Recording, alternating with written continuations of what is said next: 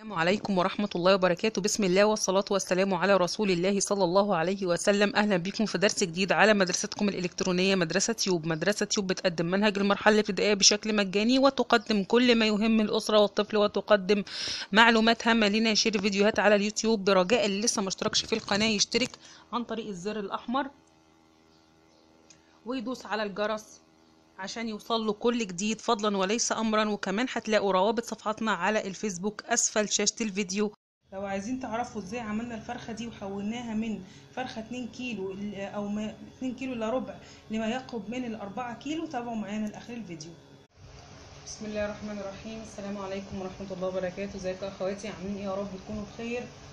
آه نبدأ كده حلقتنا بذكر الله عز وجل والصلاة على الرسول صلى الله عليه وسلم. سبحان الله والحمد لله ولا إله إلا الله والله أكبر ولا حول ولا قوة إلا بالله العلي العظيم. اللهم صل وسلم وزد وبارك على سيدنا محمد وعلى آله وصحبه وسلم. إن شاء الله النهاردة هنعمل مع بعض أكلة آه هايلة جدا. هنحول الفرخة دي حوالي 2 كيلو إلا ربع. هنحولها لما يعادل أو ما يقرب من الأربعة كيلو. تعالوا نشوف إزاي هنعمل كده. آه أول حاجة آه معانا هنا الأكلة دي هي الفرخة المحشية بالرز والخضار.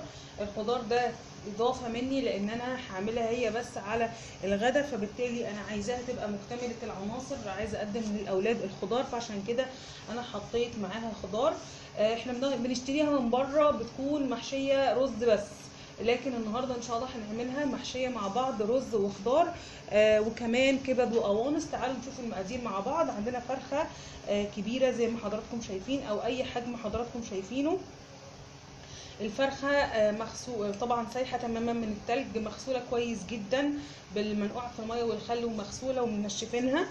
هنا معايا هنا الكبد والقوانص بتاعة الفرخة متقطعين. هنا معايا خضار مشكل معايا بطاطس بطاطسية متوسطة مقطعاها وهنا مجموعة الخضار اللي هي بتبقى مجمدة على بعضها اللي هي البسلة والجزر والكوسة.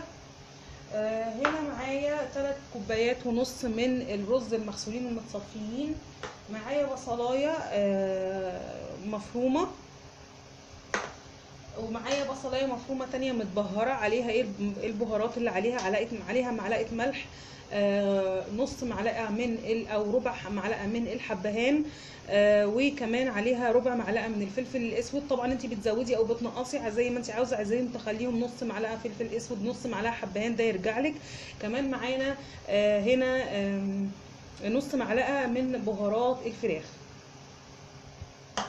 هزود بس الإضاءة. عشان تبقى حضراتكم شايفين كويس. هنا معانا إيه؟ معانا آه البهارات بقى اللي هنحطها على الرز. معايا ثلاث معالق ونص من طبعا كله بالمعلقة الصغيرة. ثلاث معالق ونص من الملح آه نص معلقة أو ربع معلقة من الفلفل الأسود نص معلقة من البهارات الفراخ. بهارات الفراخ دي بنشتريها من عند أي عطار. وتلت معلقة من الفلفل الأسود. هنبتدي كده مع بعض الخطوات. طبعا الحلة هنا فيها حوالي معلقتين كبار من السمنة وعليهم معلقة من الزيت علشان بس يلمع الرز ويديله تلميعة حلوة. هنبتدي كده بسم الله هنشوف الخطوات هنعمل إيه. أول حاجة هنعملها إن إحنا هنجيب الحلة بتاعتنا وهننزل عليها البصلة اللي هي ما فيهاش بهارات. هننزلها بالمنظر ده كده. تاخد تشويحة على النار لحد ما لونها يصفر. بالمنظر ده كده هننزلها. ولحد ما لونها يصفر وبعد ما لونها يصفر هنشوف هنعمل إيه. هنشوف الخطوات كلها مع بعض. هنحطها على النار وهنشوف هنعمل إيه بقى في الفرخه بتاعتنا. طرف على النار مع حضراتكم. بسم الله. أنا مجهزة. أنا مجهزة. مية مغلية علشان أو لو عندك شوربة جهزي شوربة تكون مغلية عشان تنجز معاكي في الوقت. هنيجي بقى على الفرخة بتاعتنا. هنشتغل فيها إزاي؟ هنيجي على البصلة بتاعتنا اللي هي فيها بهارات. هندعك كويس قوي البهارات في بعضها علشان البهارات تدخل جوه الفرخة بالمنظر ده كده. وهنبتدي إن إحنا نتبل الفرخة بتاعتنا من جوه. هنيجي كده أنا اتأكدت من البهارات. خطوة مهمة إن إحنا ندعك البهارات كلها مع بعضها مع البصلة. هبتدي إن أنا أتبل الفرخة من الداخل كده بالمنظر ده وأدعك كويس جدا بالمنظر ده كده. من جوه كويس قوي قوي كده. ومن فوق. يعني الداخل بتاعها يتبل حلو قوي أتأكد إن هو متبل. وبعدين هاجي هنا. كده أنا تبلت الداخل كويس. هاجي بقى تحت الجلد طبعا وهبتدي إن أنا أتبله. أتبل كل اللحمة ال- كل الفراخ عفوا اللي تحت الجلد بالمنظر ده كده. ريحة السمنة طلعت والبصلة. هبتدي إن أنا أتبلها حلو كده بالمنظر ده. كده من كل حتة. ادخل عند الأوراق وعند الرقبة وفي كل مكان بالمنظر ده. كده. همسح إيدي وهدي الإيه ال- أو همسك بمنديل معلقة وهدي هدي الحلة تقليبة على النار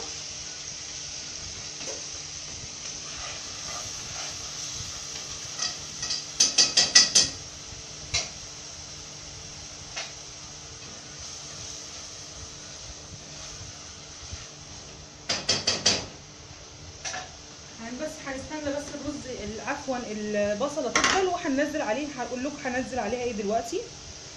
أجيب بقى كده ظهر الفرخة بتاعتي أحاول برضو إن أنا أتبلها كويس قوي الجلد بتاع الفرخة بقى ذات نفسه كده يتبل حلو قوي على قد ما نقدر طبعا. لو عندك وقت تحطيها آه، في التتبيلة شوية تحطيها في التلاجة في التتبيلة شوية يكون كويس ما عندكيش وقت برضو ما فيش مشكلة. بالمنظر ده تبلنا الفرخة بتاعتنا. تمام؟ من الداخل ومن الخارج علشان تبقى طعمها كله واخدة طعم التتبيلة كلها. تمام كده؟ دلوقتي هو كده هوريكم شكل البصلة وصلت لحد فين؟ هغسل ايدي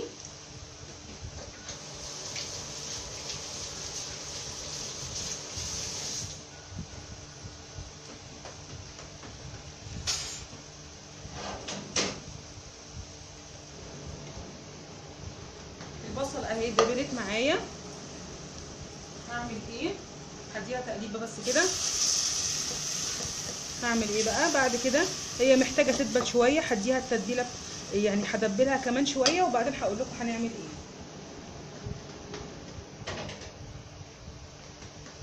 هرجع لكم بقى بعد الفاصل.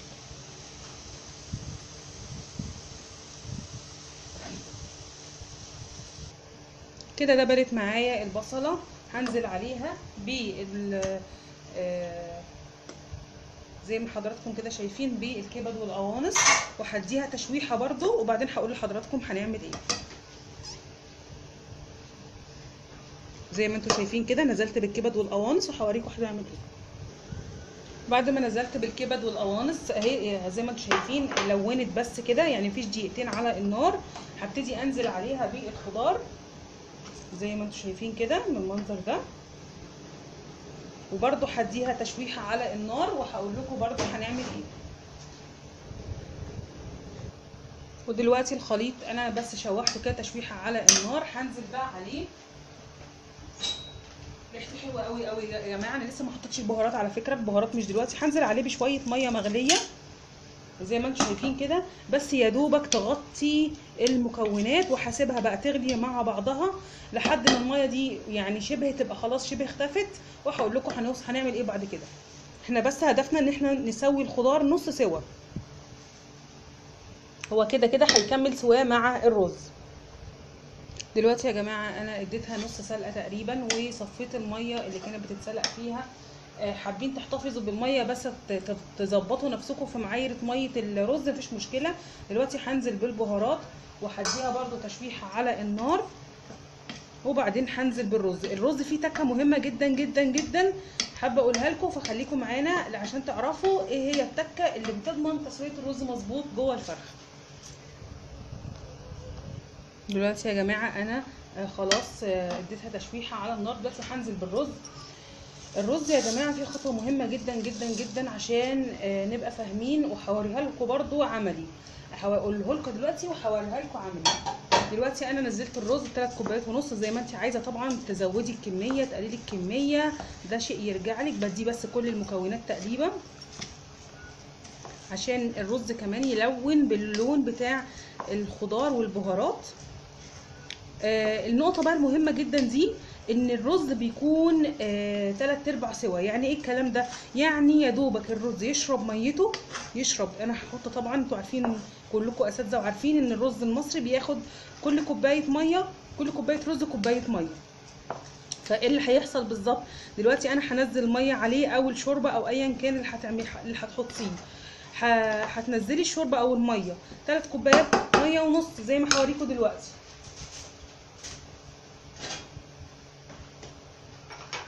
بسم الله كده. دي مية مغلية عشان زي ما قلت لكم أنجز مع بعض. أدي اول أول كوباية. ناخد بالنا بس إن المعيار يبقى مظبوط.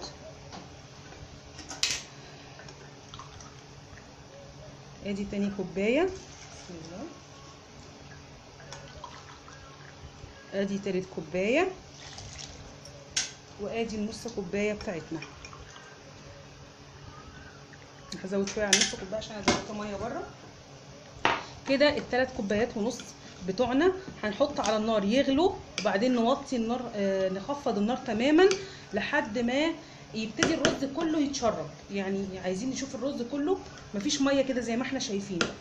هنستنى بالظبط خمس دقايق بعد ما الرز يتشرب وهناخد. وهنشوف هنعمل إيه. وهنشوف هنعمل إيه خطوة مهمة جدا جدا عشان نجاح الطريقة إن شاء الله. دلوقتي يا جماعة آه، الرز زي ما أنتم شايفين يعني استوى. يعني يعتبر تلتين سوا آه، لسه يعني هو الحباية لسه فيها حتة قرشة كده يعني مش طرية وده مطلوب علشان أنا لو آه، دخلت الرز مش مستوي مش هيستوى جوه الفرخة لأن هو بيحتاج كمية مية كبيرة عشان تتشرب والبخار اللي هينتج عن استوى الفرخة مش كافي إن هو يسوي آه، مش كافي إن هو يسوي الرز. دي النقطة الأولى. النقطة الثانية لو أنا استنيت إن هو آه، سواه يكمل اللي هيحصل إيه؟ إن هو لما يجي أحشي الفرخة دلوقتي الرز هيعجن ومش هيبقى باين له ملامح بقى لما يستوى خالص. هو أصلا هيعجن وهيبقى كتلة فطبعا هيبقى شيء سيء جدا وهتبقى آه، الوصفة بتاعتنا آه، شكلها مش ظريف خالص ومش نافعة خالص آه، وهتبقى مش آه، ظريفة. لكن هي كده خلاص فاضل لها تكة بسيطة الرز. فاضل له تكة بسيطة ويستوى. فبناء عليه آه، ده بقى أنا هاخده آه، هكمل سواه على النار وعلى أساس إن هو يبقى الفرشه اللي هتتحط تحت الفرخة في التقديم. تمام كده؟ فأنا هسيبه كده يكمل سوا. وهقول لكم هنعمل إيه بقى دلوقتي حالا بالرز ده أهو. أنا معاكم أهو. هاخد بس الرز ده احتياطي هقسمه على طبقين وهقول لكم ليه.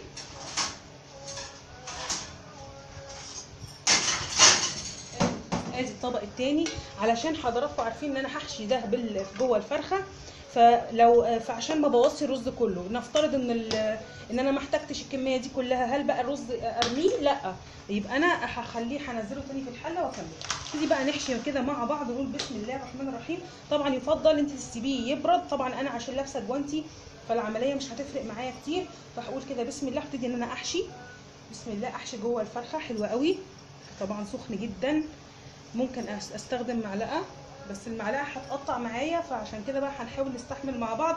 انت في البيت حاولي إن انت تسيبيه هحاول أوريكي كده قدامك. حاولي إن انت تسيبيه ياخد وقته آه، يبرد. دلوقتي أنا بنزل اهو الفرخة هحشي بقى على قد ما أقدر بس مش يعني هسيب جزء من الإيه؟ من الفراغ بتاع الفرخة آه، فاضي علشان الرز يكمل سوا. تمام؟ ادي بالمنظر ده كده اتحشت هسيب بقى جزء بسيط كده فاضي علشان إيه الرز يكمل سوا. طبعا زي ما أنتم شايفين علشان الرز ما دخلش مستوي آه، 100% فمش هيعجن معايا. نبتدي بقى نحشي إزاي؟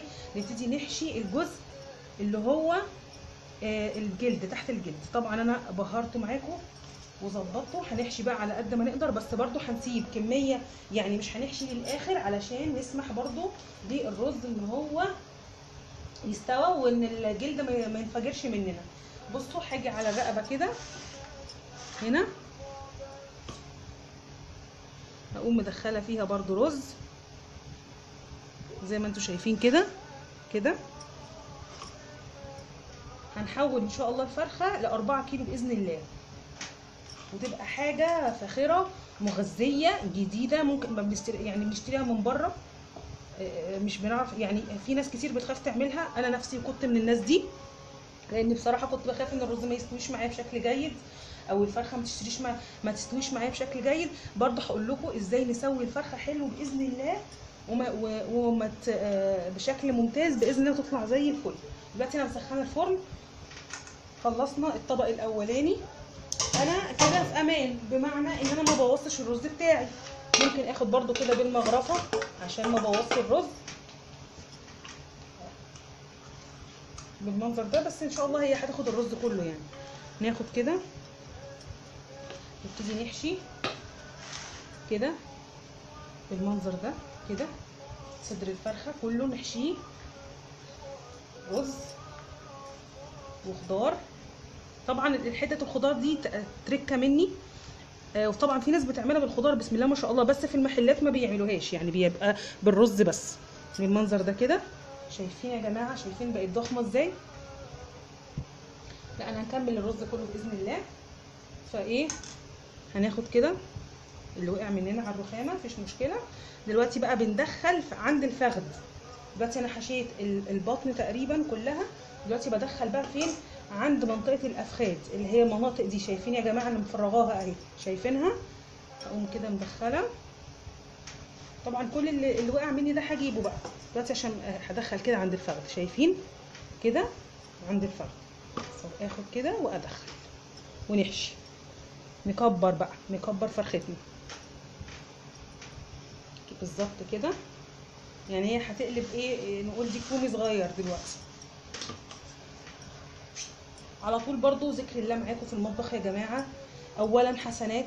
حسنات. يعني آه سبحان الله دي من خصائص أمة الإسلام ذكر الله عز وجل. فنذكر ربنا على طول بنكسب حسنات بي بي بيأثر على طعم الأكل بيطلع طعمه حلو. كل حاجة بتتأثر بذكر الله سبحان الله. زي ما أنتم شايفين كده الفرخة بتاعتنا بقت حاجة ضخمة حاجة حاجة ممتازة. هاخد أنا الحبة دول احطهم برضو في الرقبة. كده؟ طيب دي بقى هتستوى إزاي؟ طبعا سؤال بيطرح نفسه. دي فرخة كبيرة. أنا مش هسلقها. امال هعمل فيها إيه؟ هقول لكم دلوقتي هنعمل إيه.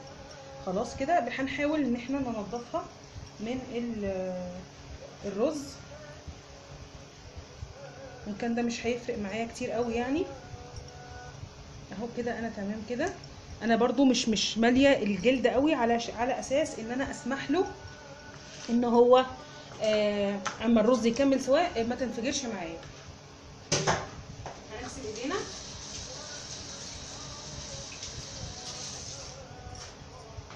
وهعمل إيه؟ هجيب بقى صينية وده كيس حراري. كيس حراري بنجيبه من أي سوبر ماركت متوفر يعني مفيهوش أي مشكلة.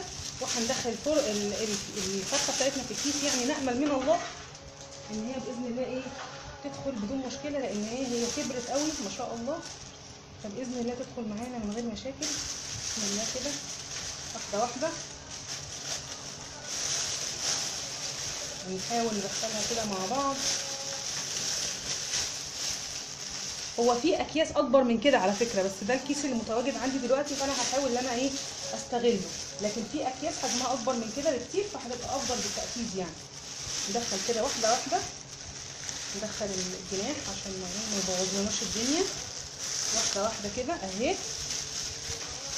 أهي أهي. دخلت معايا. نلم بقى كل الرز اللي نازل مننا. ونحطه برضو. ونحطه. ما نسيبش أي حاجة خالص. أهو. هحطه بقى جوه الفرخة ذات نفسها عشان الجلد كده إيه ما ينفجرش مني.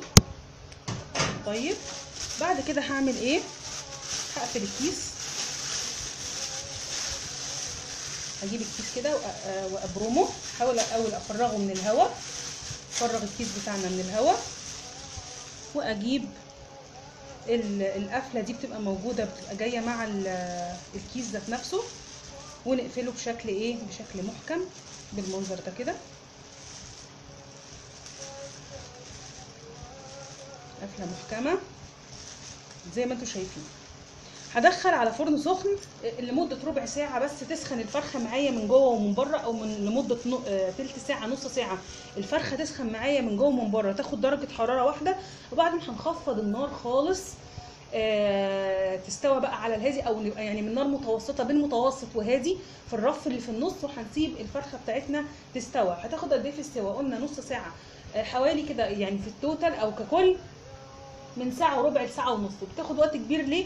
عشان إحنا عايز إحنا حاشين الفرخة من جوه بالرز فعايزين نضمن إن الفرخة من الج... من جوه اللحم بتاعها استوى مش بتيجي نفتحها اللي هي حمراء زي ما أحيانا بنشتريها من بعض المحلات اللي هم بيكونوا يعني استرعوا في في تسويتها. آه، بس هننضف الصينية بتاعتنا عشان ده ما يلزقش فيها وهندخلها الفرن إن شاء الله اوريها لكم بإذن الله آه، بعد ما تستوي ادي يا جماعة خلاص الفرخة ما شاء الله لا قوة إلا بالله استوت وبقت ما شاء الله ممتازة جدا. آه زي ما أنتم شايفينها احمرت وزي ما زي بقت زي الفل. آه أنا قعدتها بالظبط حوالي ساعة ونص في الفرن. آه عملت سويتها إزاي؟ أول حاجة دخلتها في الرف اللي في النص على نار عالية جدا. آه لمدة تلت ساعة. بعد كده خفضت النار بين الهادية وبين المتوسطة. آه لمدة تلت ساعة ل 25 دقيقة.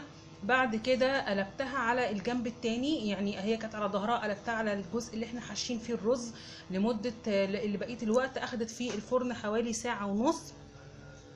وبقت هايلة جدا زي ما أنتم شايفين. أنا بس لولا إن في فترة على ميعاد الغدا كنت فتحتها قدام حضراتكم ووريتكم شكلها عامل إزاي. وآدي الرز اللي إحنا سويناه مع بعض حطيته في سيرفيس. آه إن شاء الله بقى هو على وقت الغدا هتكون هيكون ال- يعني الفراخ بردت. فإن شاء الله هدخلها أسخنها في الفرن. وشايفين يا جماعة شوية الصوص والعصارة اللي فاضلين في الكيس دول هحطهم على السيرفيس بتاع ال- الرز وهسخنه بقى بيه على أساس إن هي تاخد من ريحة وطعم الفرخة ويبقى كأن الرز برضو ده مستوي مع الفرخة. أتمنى تجربوها وزي ما أنتم شايفين استوت وبقت زي الفل مفيهاش أي مشكلة. وما تنسوش لو عجبتكم لو عجبتكم الحلقة تعملوا like للحلقة و sharing لي- ليها على صفحاتكم على الفيسبوك. subscribe للقناة. أشكركم جدا. والسلام عليكم ورحمة الله وبركاته.